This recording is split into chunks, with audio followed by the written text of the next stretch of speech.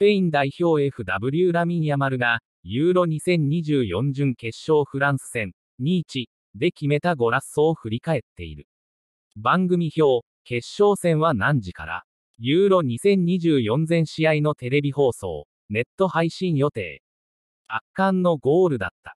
0、1ビハインドで迎えた21分、ペナルティーエリア手前でボールを持ったヤマルは、MF アドリアン・ラビオを眼前に鋭い切り返しを見せ、わずかにスペースがすくと左足を振り抜いた。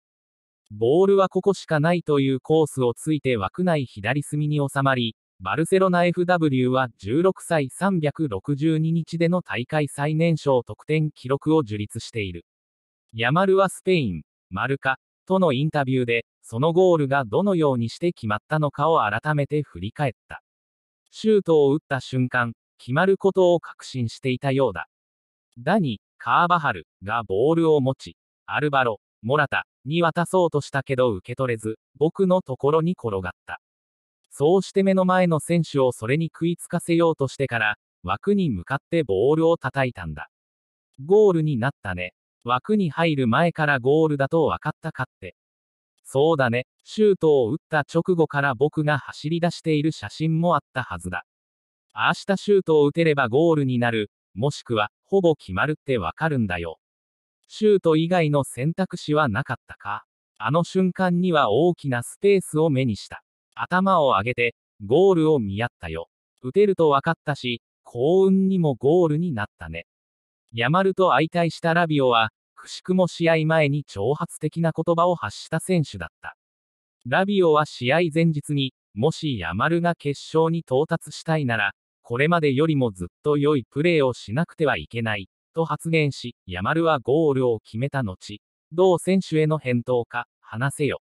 話せよ。というジェスチャーを行った。自分の前にいる選手が誰かを意識したりはしない。大切なのは勝ち進むこと、チームを助けること。それだけだよ。対面する相手は別に重要じゃないんだ。彼の発言は、会見で言った通りのこととして受け取った。それ以上のことは何もないよ。僕は試合だけに、決勝に到達することにだけ集中していた。成功したね。先のゴールや切れ味鋭いドリブルなど、圧倒的なこの力を持つヤマル。それだけの魔法、大胆さ、恥じらうことのない勇敢なプレーの源泉はどこなのか、と問われた同選手は、7歳で加入したバルセロナではなく、ストリートで学んだものと語っている。ストリートで、友達とプレイしながらだね。あっちを見ながらこっちに突破する、といったプレイは、そこから生まれるんだ。ストリートでこそ学べるものなんだよ。なおヤマルは先に応じた GQ とのインタビューでも、ストリートでプレイすれば、より多くの手段を獲得することができる。そこではそこまで規則に縛られず、だからこそフットボールのスクールに通う人よりも、抜け目ないプレー